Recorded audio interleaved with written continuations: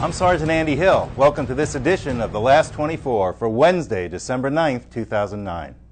The FBI Bank Robbery Task Force has been doing a great job and has been operating since early this year. It's a partnership between the FBI and local agencies to investigate bank and armored car robberies. The task force is asking for the public's help in identifying the suspect involved in two cases. On Thursday, December 3, 2009, just after 3 p.m., the suspect entered the bank located at 5065 East Elliott Road in Phoenix, approached a teller, and after a brief conversation attempted to rob the bank but fled without obtaining any money. No vehicle or weapon was seen.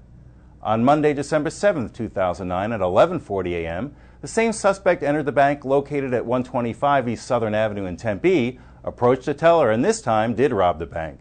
She fled the bank on foot with an amount of cash, and again, no vehicle or weapon was seen.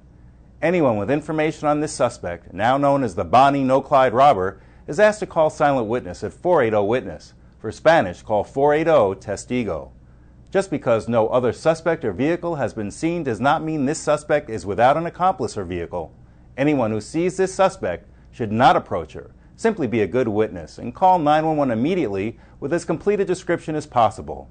Relate all the details you notice about the suspect and vehicle, including a license plate number if possible. I'm Sergeant Andy Hill. Thank you for watching. Until next time, be safe.